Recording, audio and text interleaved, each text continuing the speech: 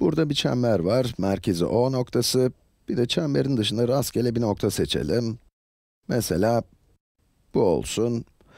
Buna da A noktası diyelim. Şimdi çemberin dışındaki bir noktadan, hatta A noktasından, bu noktadan iki farklı teğet çizebiliriz, öyle değil mi? Bir deneyelim. Birincisi bu olacak. Buradan başladık ve çembere teğet olacak. Diğerinde yine aynı yerden başlayıp böyle çizeceğiz. Güzel. Teğetlerin çemberle kesiştikleri, çembere değdikleri noktalarda burası B, burası da C olsun. Şimdi gelelim esas konuya. Bu videoda size AB doğru parçasıyla AC doğru parçasının eşit olduğunu ispatlayacağız demiştik, değil mi?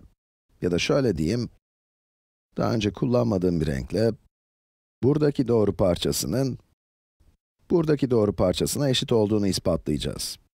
Peki, her zaman olduğu gibi videoyu durdurun ve bu ispatı kendi başınıza yapmayı deneyin. Bu ispatı yapmak için iki tane üçgen oluşturacağız. İki tane dik üçgen. Buraya bir doğru çizelim.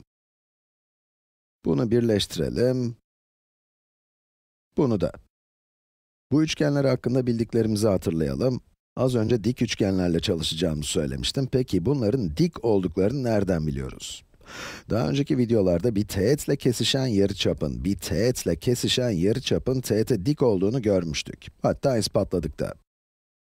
Bu bir yarıçap, bu da teğet olduğu için bu açı diktir. Burada da bir yarıçap ve bir teğet var. O zaman bunlar da dik. OB ve OC yarıçap olduğuna göre uzunlukları eşit olmalı, öyle değil mi? Tekrar edeyim, bu kenarla, başka bir renk kullanayım, bu kenarla, bu kenar birbirine eşit. Sonra hipotenüsü paylaştıkları için bu da aynı olacak. ABO ve ACO üçgenleri, iki kenarı birbirine eşit iki dik üçgen. Hatta biraz detay verecek olursak, hipotenüsleri ve taban uzunlukları birbirine eşit. Hipotenüs taban uzunluğu eşliğine göre iki kenarı birbirine eşit olan dik üçgenler birbirine eşittir, eşittir. Yani ABO üçgeni ile ACO üçgeni eş üçgenlerdir. Hatta isterseniz Pisagor teoreminden bile gidebiliriz. Pisagor teoremiyle eğer bir üçgenin iki kenarını biliyorsak, üçüncüsünü bulabiliriz, öyle değil mi? Ve burada iki kenar eşit olduğu için, üçüncü kenar da eşit çıkacak. Kısacası AB'nin uzunluğu, AC'nin uzunluğuna eşit.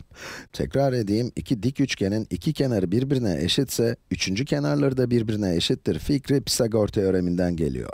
İşte bu kadar.